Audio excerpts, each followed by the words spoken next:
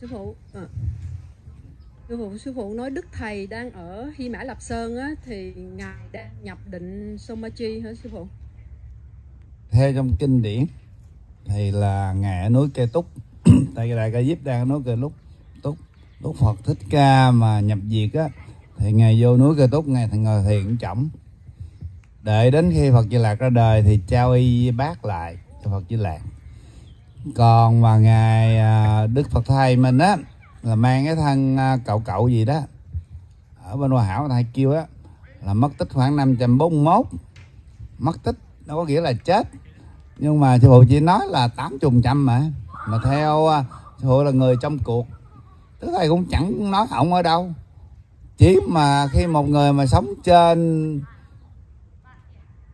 200 tuổi 300 tuổi, chỉ có Hy Mã Lập Sơn thôi hiểu không?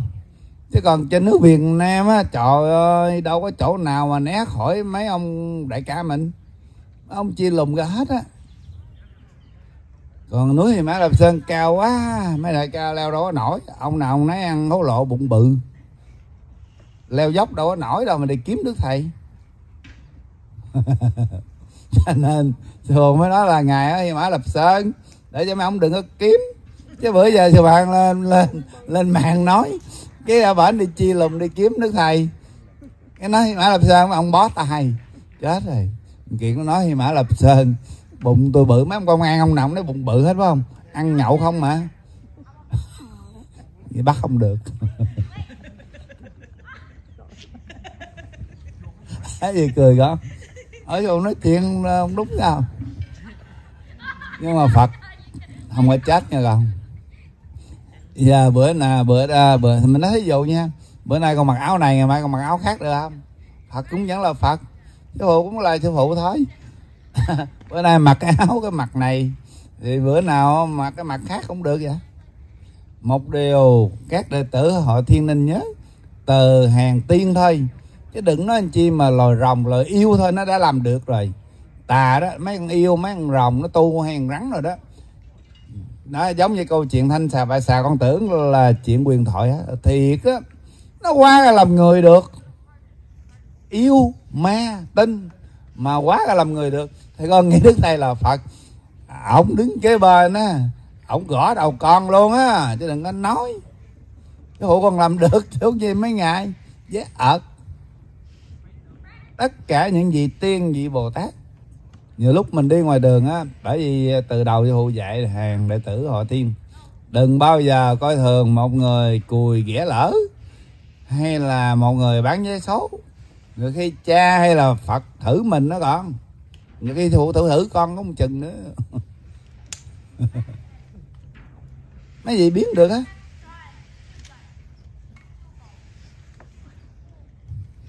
Hòa thượng tiên quá mình á.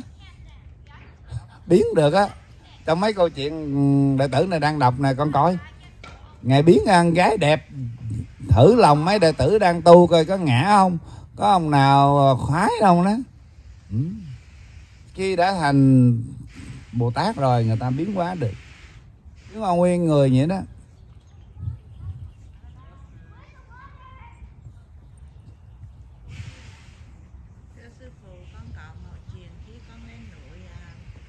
cái, à, cái giọng của con phải nói lớn thì phụ mới nghe rõ. Con lên núi cẩm con gặp một trường hợp mà à, thử mà khi con cạn ra thì con Dạ thưa sư phụ khi à, con có một câu chuyện khi con lên đi trải nghiệm trên núi Cẩm à, khi đó con đi là trời mưa con đi với hai vị à, đàn à, nam một em đó khoảng 28 tuổi một người bốn mươi mấy tuổi dẫn con đi. À, lên điện à, lên trên đó là điện có điện mẹ và điện cha. À, và để con lên con lại con à, trước khi con đi về. Con đi lên à, thì trời mưa rất là nhiều. Con đi rất là khó lên tầng cấp trên núi núi đó. Thì chưa đến đỉnh núi thì con thấy một vị ra ngồi giữa cái cái tầng cấp của cái núi à, vì đó khoảng sáu mươi mấy tuổi bảy chục tuổi thôi. Thì ngồi lại đi xin. Mà trời thì mưa con thấy đó thì con đứng lại. Con mở tuổi con ra con lấy tiền con con à, gửi cho vị đó. Thì khi con gửi rồi thì vị đó mới ngồi. Đưa hai cái chân ra. Thì con nhìn từ dưới lên trên là áo quần rách hết. Thì con mày nói á là khi đó là trời trên núi cẩm là khoảng 7 giờ kém con mới nói cô ơi à, cháu thấy cô mặc áo quần rách quá nhưng mà giờ chứ cháu không biết ở đâu mà mua cho cô áo quần. Thôi giờ cháu gửi cô ít tiền cô đi mua ít bộ áo quần cô mặc nha. Thì cô đã cầm tiền của con cô đã bỏ xuống lấy cái ô á. Thì tiếp tục cô đó mới kéo cái chân lên kéo lên tới đây. Thì hai cái chân của cô đó sưng sưng lên tới đầu gối nó sưng lớn lắm em thấy hai cái chân mà em mắc hồn luôn. Thì bác cô nói mới nói nè à con cho tiền cô cô không còn mua áo quần. Cô sẽ đi mua à, đi mua thuốc cô uống. Rồi bác con mới nói nam mô a di đà phật. À, tùy cô à, cô à, lấy cô mua thuốc cô uống đi chứ con thấy cô đau quá mà làm sao cô lên đây? À, thì nói cô lên được mà mà con nhìn cặp chân đó không thể nào đi lên núi cầm được thì con cho tiền con chút xong rồi con đi. Con đi lên khoảng 10 tầng chưa lên tới đỉnh. Con quay lui con không thấy vì đó đâu nữa hết. Thì tự nhiên trong lòng con không cảm không lý cái này là à, các chứ vì hoặc là ai đã đưa cái người này tới thử thách mình hay sao trên hành trình mình tu. À, thì con cũng rất là vui. Con cũng làm được một việc thì khi đó mình thấy người mình cũng giúp rồi con đi về lại đồng bằng. Con mày gọi cho một người đó, một người đó cũng có căn tu. Thì con mày kể mọi chuyện ra thì cái à, cái mùi đó mới này chúc mừng tỷ. Tỷ đã vượt qua cái thử thách. Nói cho con vậy thôi. Nhưng mà con rất là ngạc nhiên khi 7 giờ tối trên núi như vậy, không có bà già nào mà lên được cái núi này hết. Ngay cả con trẻ mà con đi vài tân cấp là con đứng con thở mà chứng xứng như vậy không có thể đi được, mà lại lên ngồi trên núi để xin tiền vào 7 giờ kém. Nam Mô A Di Đà Phật Mẫu chuyện con đã xong. Phụ cũng chúc mừng con. Là vì con à, nguyên xác, nguyên hồn về lại Thiên Long Sơn. Sau một năm tu học, lang thang đi tìm tâm linh tìm uh, sư tổ dùm cho sư phụ. Chúc cũng chúc mừng con á. Thiệt mà. Con cảm ơn sư phụ. Con biết là trong vô vi cha mẹ là các chư vị và sư phụ bảo vệ cho con và các hộ pháp. Nên thành ra con cũng đã à, muốn đi trải nghiệm về đất phương Nam vậy thôi Nam mô A Di Đà Dạ, Phật. từ Huế mà đi về đất phương Nam chỉ vì đi tìm tâm linh. Vậy sao người Nam á, chỉ cần bước lên núi thôi mà xung quanh núi cấm cả đống. Mình có thấy lạ không con? Một người Huế mà từ Mỹ nữa mà đi ra là họ thiên rồi cái giờ tin sư phụ để đi tìm tìm. Mà trong khi người ở xung quanh núi cấm chưa chắc người ta hiểu. Cho nên cái này mình phải nói là cái đệ tử này thật sự cái cốc của đệ tử này là ở tầng trời thứ tư. Cho nên xuống nay còn nhớ mơ mơ mà hồ hồ mình là tiên phải không? Cho nên con thấy lúc nào cũng sạch sẽ ăn mặc. Mới nãy mình thấy màu xanh bữa nay à, bây giờ mình thấy màu này.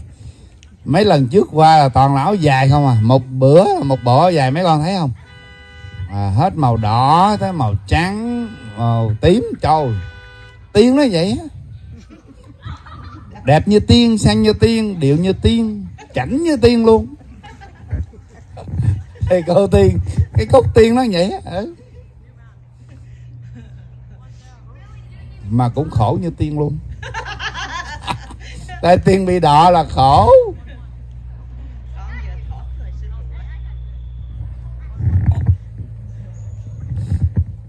Tất cả các vị bồ tát đều hóa thân được, hóa thân người như mình.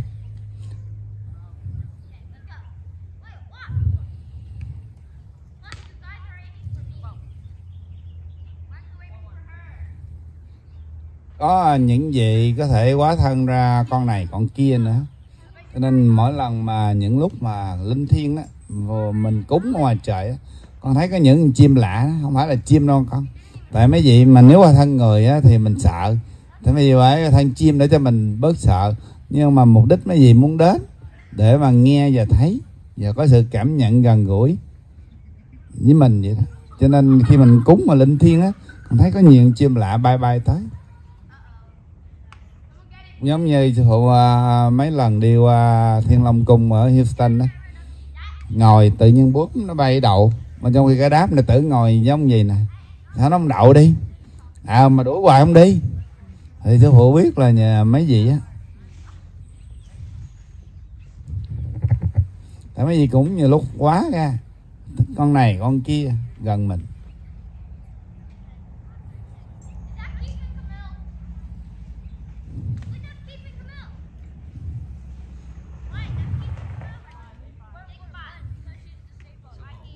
Giờ trên trời mọi người đâu được làm vợ chồng có chứ Nói ý con là ở tầng trời có chứ. ủa gì cha mẹ là gì? Thì chiếc thân đúng rồi ở chồng ở chánh chúng ta có, con à, ở chánh mấy đứa con đều có một cái gia đình hết á. Cái gia đình thật sự luôn kìa. Cho nên lâu lâu á mà những đứa mà là muốn gặp lại gia đình mình á, thì lên núi thiên long sơn ngồi đọc kinh, thì anh chị em mình cũng là đang chư thiên ở chảnh.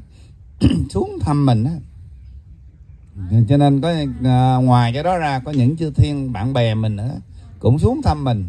Cho nên lúc nào con lên mà con đọc kinh trên núi cái đầu con cũng nhột nhột á ti luôn. Là hỏng bạn bè cũng cha mẹ hay là những vị hộ pháp trong đó. Cho nên lúc nào cũng có điển thanh trên điện phật mẫu. Chứ không phải chúng ta cô đơn đâu. Sư phụ có một cái đại gia đình thì các con cũng có. Nhưng mà tại sao trong kinh phật cứ nói chúng ta vô minh chúng ta quên đường về chúng ta quên đi cái tự tánh giống như ờ, có những gì trên mạng giải thích à, trở về chân không rồi à, trở về tánh không tánh không gì đó. Nói thì dễ đâu phải dễ làm. Có nhiều nhiều người trên mạng nói ôi trở về tánh không? Tánh không là làm sao? Muốn được gì đâu phải dễ thí vô ý đâu phải dễ. Mình làm gì trong kinh bát nhã có nói là vô vái ngại mà có câu đó thôi, nhiều người đâu có làm được. Đâu. mà trở về tánh không? Có một nhà, một à, bác ở dưới miền tây á ông hay à, giảng pháp. Mà cứ nói thôi, mà nói viết người ta không có giải thích, người ta đâu có hiểu rõ. Mà có giải thích, người ta cũng không có làm được. Người phải có căn cơ thì ông ổng nói đúng, chứ không phải là sai phải không? Thì chúng ta phải trở về cái nguyên căn của mình. Còn sư phụ giải thích rất là bình thường, bình dân, lời bình dân, nhưng mà thiệt. Tâm chúng ta là hạt ngọc. Vì lặn hợp với trần gian nên bị rong, riêu, sò dít nó đóng. Mình phải mai mình vúa cho nó sáng lên, thì đó là về trời. Đơn giản vậy thôi còn hiện bây giờ đứa nào đứa nấy quá trời dơ. Giống như mà cục ngọc mà lọt xuống à, bùng bùn mà mấy nghìn năm vậy, nó dày lên một đống lớp bùn lớp đất này nè. Mình phải cọ gọt của nó. Mà muốn cho sạch mà để cho ngọc của mình cái tâm mình sáng ra về trời được á. Làm gì? Ngồi thiền, đọc kinh. Mỗi lần ngồi thiền là giống như vũa xẹt qua xẹt về. Vũa cho nó sáng để tôi giải thích để con dễ hiểu. Chứ còn trở gì đánh không đánh không? Sao rồi đánh không được? Rồi đọc kinh để cho nó mau sáng nữa. Đọc kinh nó cũng giống như là thay vì con vũa không.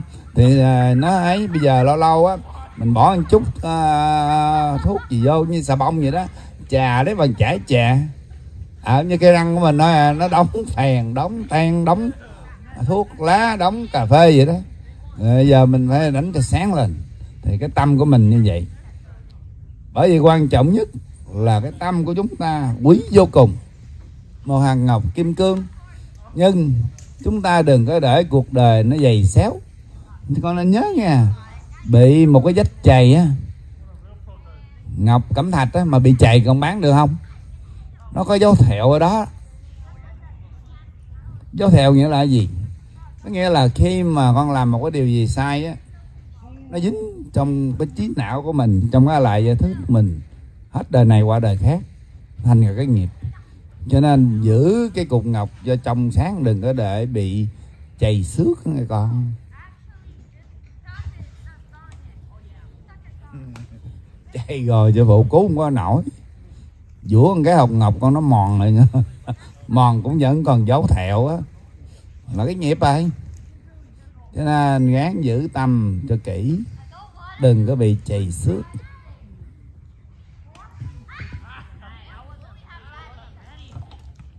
Có câu hỏi sư phụ.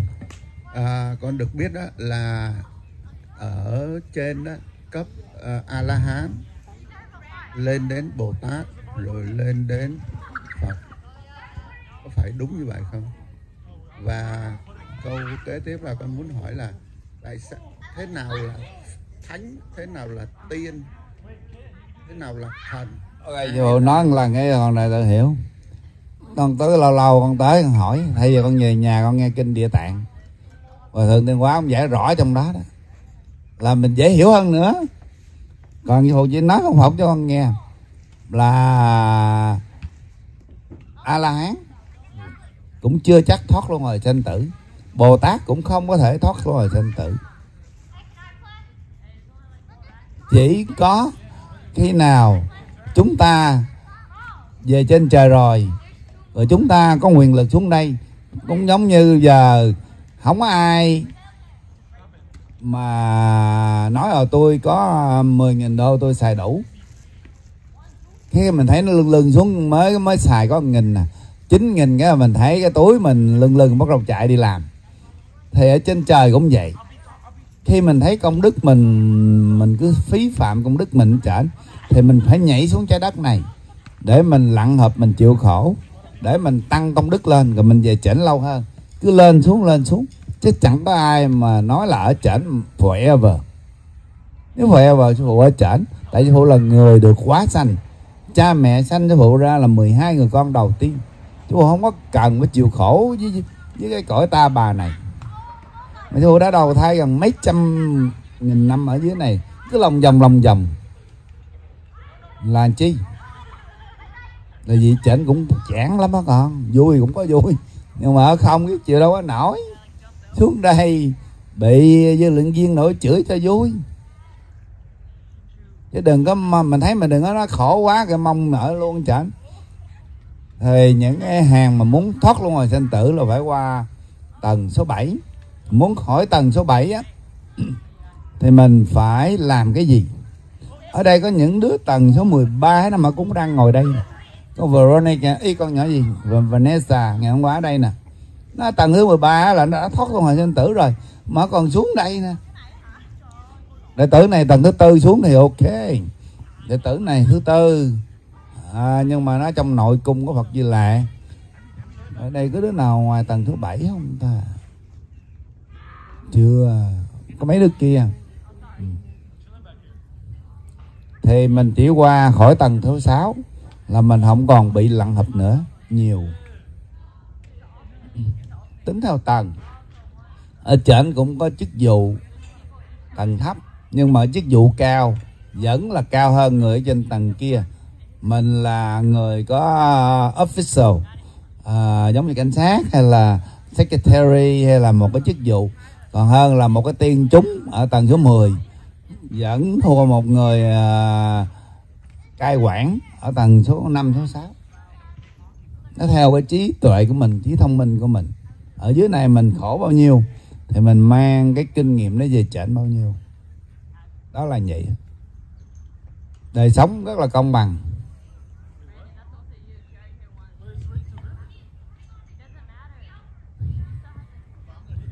Mà trển tính theo cấp bậc, không phải vậy. Trển tính theo cái thần thông. Ai mà lên tới đạt đỉnh 64 biến hóa, thì người đó là đạt coi như cao nhất rồi đó. Còn chúng ta hiện giờ có hai dimension thôi. 64 dimension.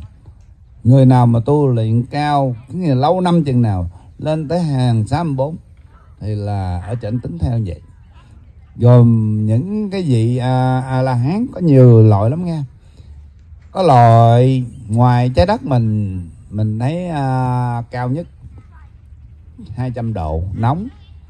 Và độ lạnh trừ à, 50 độ lạnh. Nhưng mà qua những không gian những vũ trụ những hành tinh lên tới 10.000 độ nóng hoặc là như qua nữa thì tới độ lạnh nó âm 10.000 độ âm. Những cái thần thông những cái chân thần đều bị tan hết chân thần cũng chết nữa, bởi lạnh, nóng với lạnh mà. Cho nên cái người mà mà cao á, những vị Phật cha mẹ đi xuyên qua được. Còn những gì mà tiên thấp thấp đâu có dám đi. Đi tùm lum trong không gian mà gặp nóng lạnh 10.000 độ là mất xác, mất hồn luôn á. Tại nó cũng có cái thân người mà. Chứ đâu phải là không gian, không khí đâu.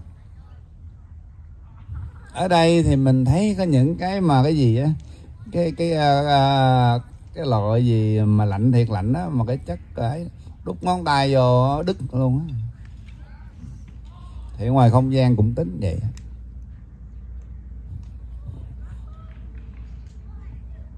sao đệ tử. Chỉ có tài thiên hồi xưa là ngầu nhất. Đi xuyên không gian nóng mấy nghìn độ đúc trong lò à, luyện đơn cũng không chết đâu. Lạnh cũng không chết nhưng mà những vị à, thần tiên á, tùy theo cái thần thông của họ họ phải đủ sức họ vượt qua mấy cái lạnh nóng đó. Những hành tinh cực kỳ lạnh cực kỳ nóng.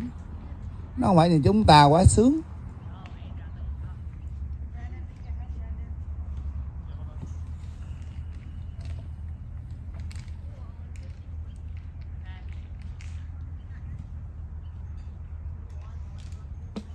Xin lỗi sư phụ hỏi nhiều câu hỏi quá sư phụ có giận không? Sư phụ ơi. Ủa làm gì? Nói. có tại vì Cô đâu biết giận là vậy đâu. à. À, có một câu hỏi là tôi muốn xin mẹ để được về đây á, muốn, muốn hỏi mẹ cái chấp nhận thì phải người ta có người trong trung tâm dạy là phải giục hai cái đồng tiền lên. Như là cái kho tờ lên nó một, một cái mặt úp á với mở một cái cái đầu với cái hết cái theo là mẹ chấp nhận. Còn hai cái mà đi hai cái đầu xuống là mẹ không chấp nhận hả à, chị con đó. Cái công cô trong thiên tâm á con chỉ rồi đó. À, mà con có thể chưa? Chưa vậy đâu biết mới hỏi sư phụ trước mới về thầy chứ. Đến ngày mai lên tại tối mai mới về. Ngày mai lên làm nữa à, con muốn hỏi cái gì? Hỏi tại vì đang ở, dưới đó nhưng mà muốn chuyển ông mới về. Ở dưới OE không? Dưới rồi hả? Con muốn chuyển không? Chuyển ông về tại vì ông ở dưới đó thì tối đó thì ờ, tối thì ờ, đệ tử đi làm trong đó có cái bệnh viện rồi bằng ngày thì phải tới đó trực ông hàng ngày đưa ông cho ông đưa ông đi bộ tập thể dục trong cõi buồn biết không? Chứ ở đó cũng có người lo. Nhưng mà tại ông nhiều khi ông giật kinh phong á không có ở nhà được. Mà bây giờ đỡ, muốn chọn đỡ ông về đây á, thì um, tôi muốn bỏ chớp đỡ đỡ ở nhà để lo ông cho đến khi đến đến cuối cùng. Mấy tưởng này bị cái nghiệp. Bởi vì con thấy không?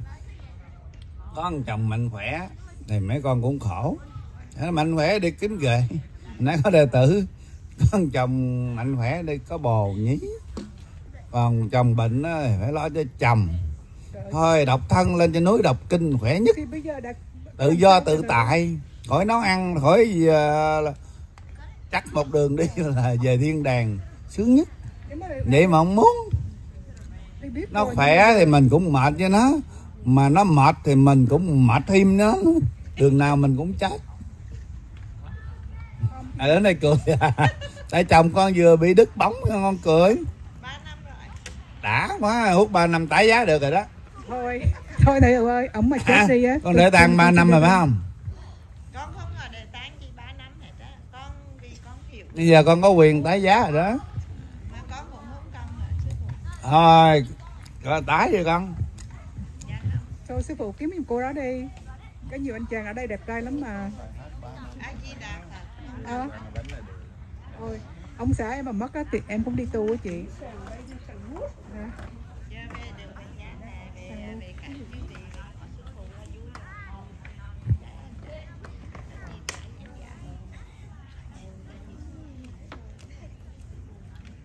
Bắp. Cùng nói chuyện nãy giờ 8 tiếng rồi bỏ mấy đứa con cũng tội Ở có ông túi xuất hiện mấy ông rồng xuất hiện nhiều quá ta.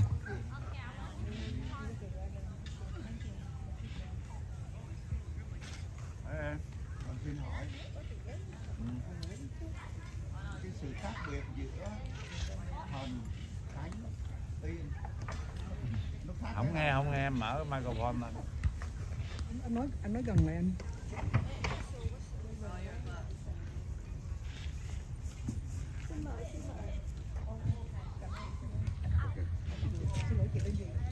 cái sự khác biệt giữa thần, thánh và tiên, nó khác nhau thế nào, sư phụ? Vậy mà cũng hỏi là tự Bởi phụ kêu con nghe kinh địa tạng. Rồi giờ theo thiên tâm mà cũng còn à, sợ bên công giáo cười hả? Không dám nghe kinh hả?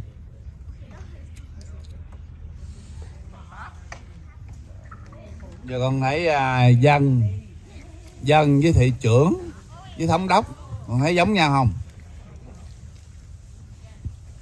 Dân thường mình với thị trưởng với thống đốc giống giống nhau khác nhau. À, đó như vậy á.